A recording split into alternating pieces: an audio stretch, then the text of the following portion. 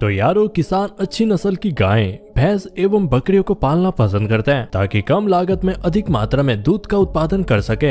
इन समस्याओं से निपटने के लिए थारपारकर नस्ल की गायों को सक्षम माना जाता है। थारपारकर उत्तम दुधारू पशु हैं। थारपारकर नस्ल की गायों की पहचान कर आप शुद्ध नस्ल की गाय खरीद सकते हैं। इस वीडियो में आपको थारपारकर गायों की पहचान कैसे करें थारपारकर गाय की कीमत एवं कहाँ से खरीदें, इन सब चीज़ों की जानकारी दी जाएगी।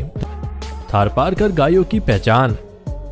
थारपारकर गाय देखने में सफ़ेद रंग की बहुत ही सुंदर और गोल मटोल आँखों वाली होती है। देसी गाय ज़्यादातर सुंदर ही होते हैं, किंतु ये गाय अपनी एक अलग पहचान रखती है। सफ़ेद रंग के इस गाय के शरीर पर ठंडियों के मौसम में काले रंग के बाल निकल आते हैं। इसका सर चौड़े माथे वाला, मध्यम आकार का और उभरा हुआ रहता है। इस गाय की कदकाठी, राठी और साहिवाल नस्ल की गायों से थोड़ा ज़्यादा होता है। थारपारकर गाय 24 घंटे में 9 लीटर दूध का उत्पादन दे सकती है। थारपारकर नस्ल की गाय डेयरी व्यवसाय के लिए।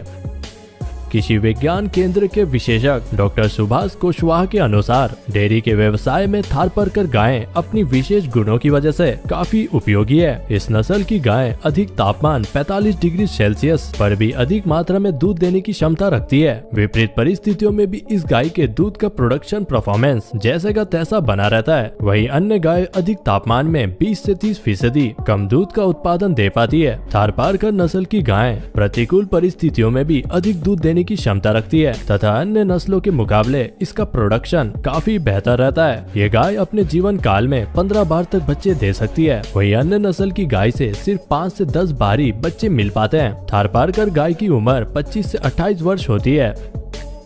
थारपारकर गाय कहाँ पाई जाती है?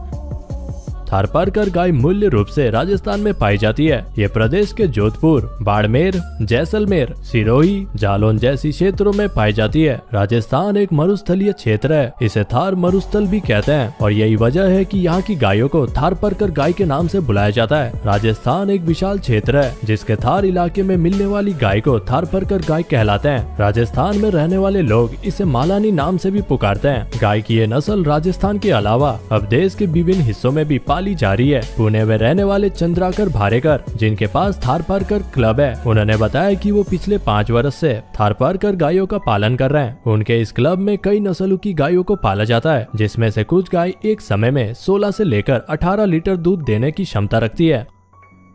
थार पारकर गाय की कीमत थारपारकर गाय का दूध अधिक स्वादिष्ट और पौष्टिक गुणों से भरपूर होता है। इसके दूध में प्रोबायोटिक्स गुण होते हैं, जो शरीर की रोग प्रतिरोधक क्षमता को बढ़ाता है। इस गाय के दूध में ओमेगा थ्री फैटी एसिड और कैल्शियम की ऊँची मात्रा पाई जाती है, जिस वजह से ये मेंटल डिसऑर्डर और हड्डियों को मजबूती प्रदान करता है। मानिकसर में पशुओं की बिक्री के लिए बोली लगाई जाती है। इसमें थार थारपारकर नस्ल की एक गाय की कीमत चालीस हज़ार रूपए ऐसी शुरू होती है, जो बढ़ते हुए दो लाख चालीस हज़ार तक पहुँच गई ये अब तक की सबसे उच्चतम बोली रही है।